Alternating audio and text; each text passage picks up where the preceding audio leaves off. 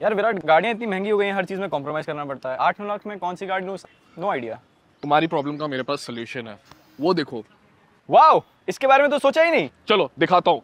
देखो toll wide बड़ी SUV की इच्छा थी ना।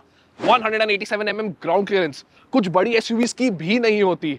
उसके अलावा no compromise on safety as well यहाँ पर आपको मिलती है फाइव स्टार एनकैप रेटिंग मतलब सॉलिड बिल्ड क्वालिटी अंदर चलो।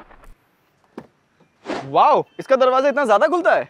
बढ़िया ना और पीछे देखो कितनी स्पेशियस है। और यहाँ पे सब मिलता है सात इंच की टच स्क्रीन सात इंच का digital instrument cluster idle start stop automatic headlamps automatic wipers and Harman का प्रीमियम साउंड सिस्टम भी आता है।